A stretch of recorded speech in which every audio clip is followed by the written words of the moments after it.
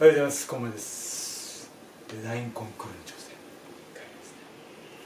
えー前回はですね、えーレイアウトを考えたものを下書きで落とし込みました。で、1日空けて、これが冷静に見てですね、えーバランス、そしてサイズ感がですね、これでいいのかどうかをちょっと今、新鮮な気持ちで見て、そして修正する投資をして、そして書くのかということを、えーしていきたいと思います。えーきっとまた無口な動画になると思うんですがじっくりとお付けくだ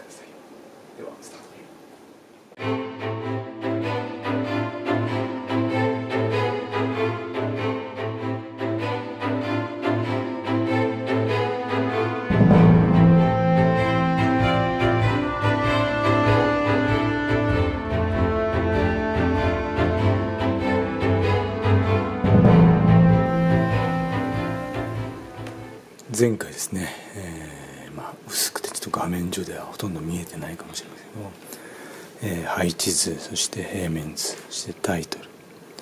という形で、えー書きました。で今ちょっと冷静に見ているんですが、うんまあ、気になるところはですねこの配置図ですね。これが若干大きすぎるので全部消してですねちょっとスケールを小さくしてまとめたいと思います。まあこうしてせっかくまあ書いたものをですね、えー消すっていうのを非常に勇気はいりますけど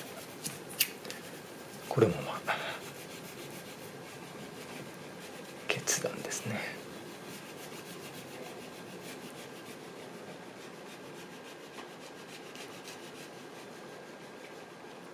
れは今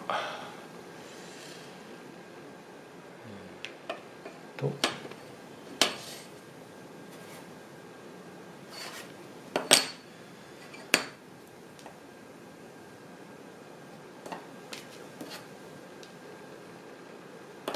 300分の1で書きましたがもう少しですね小さいスケールで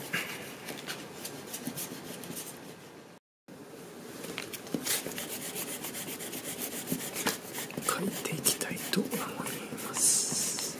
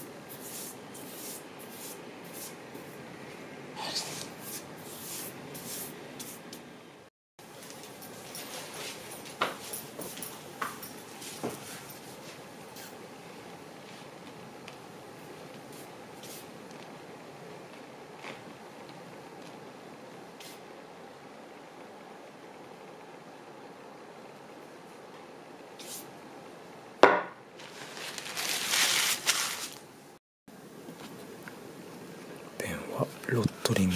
800ですね。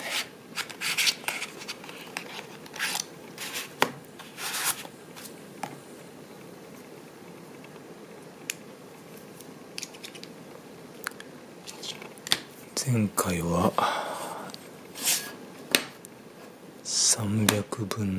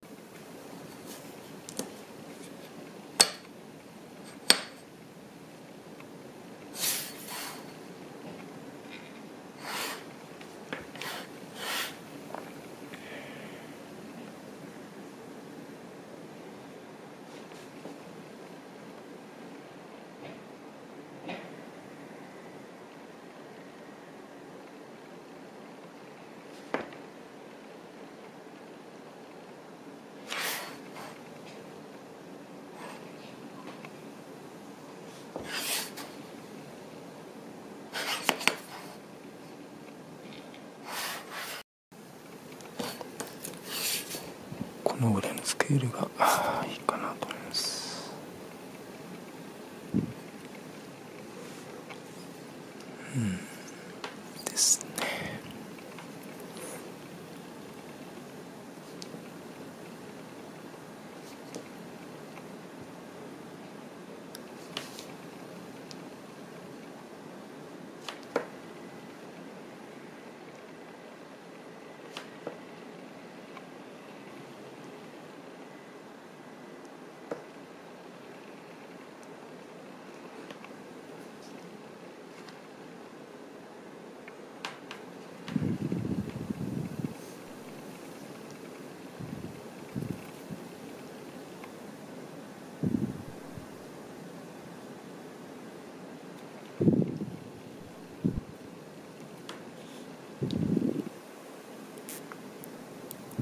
またしばらくちょっと無口になります。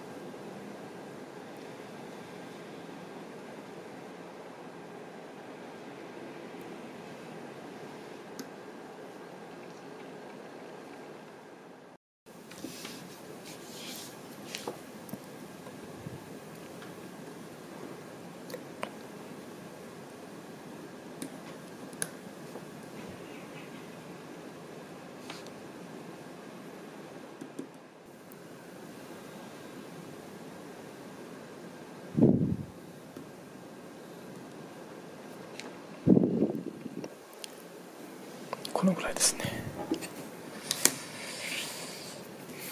そして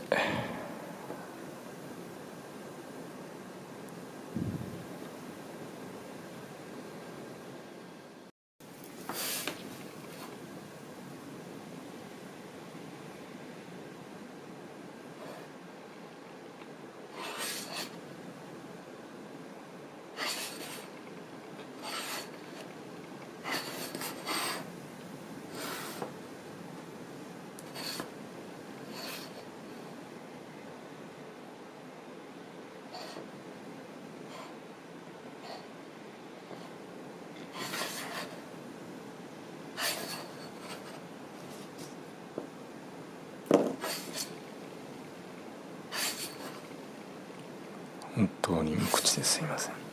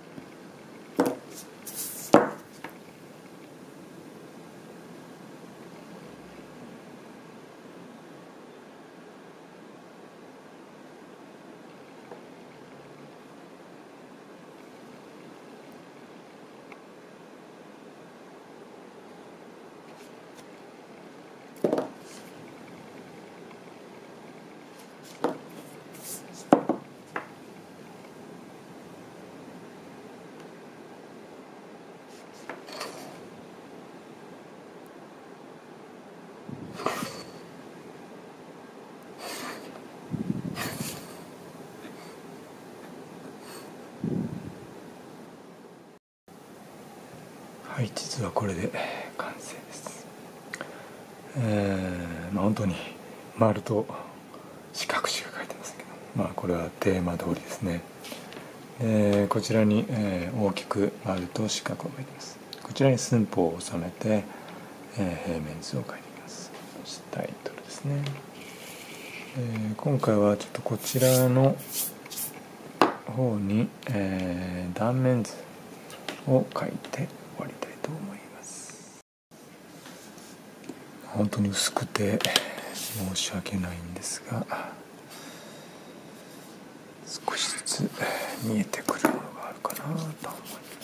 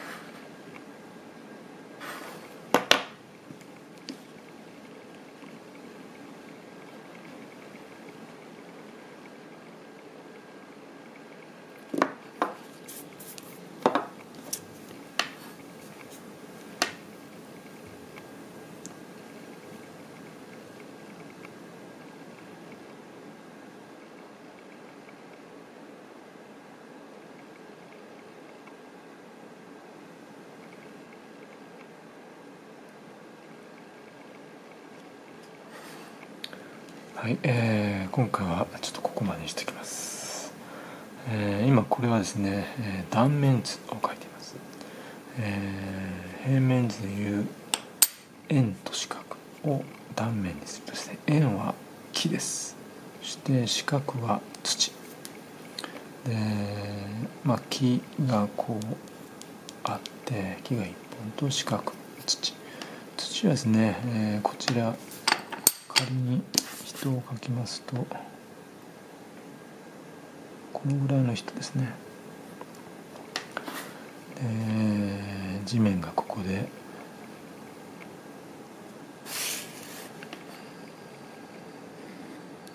1500寸法書いてみましょうかちょっと傷んじゃったな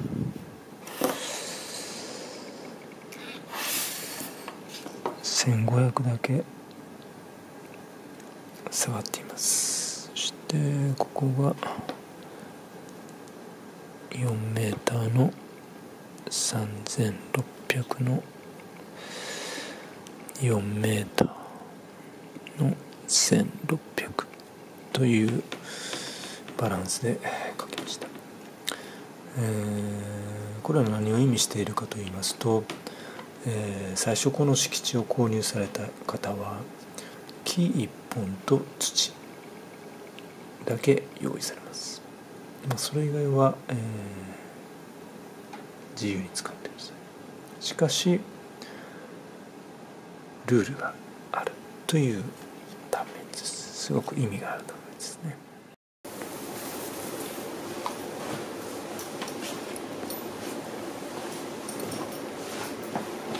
はい、えー、今回はまた無口なところでした、えー、ちょっと集中するのに上着を脱いでですね、えー、書き込みました。まずは、えー、配置図を全部消し去ってスケールダウンをしてそしてまた落とし込みました。そして、えー右側に断面図を書きました。この断面図にはすごく意味があってえ今回の丸と四角。それをまあ説明する断面図です。でこちらはですね、えーまあ、私のコン、まあ、デザインのコンセプトである、えーまあ、ネバーエンディという、まあ、コンセプト大きなすごくまあメインの図面です。でここ断面図を何個か書きます。でそれはちょっと、えーまあ、動画ではお届けしなくて書いてしまいます。ちょっとまあ考えながらすごくまあ集中しますので、えー、書いてしまいます。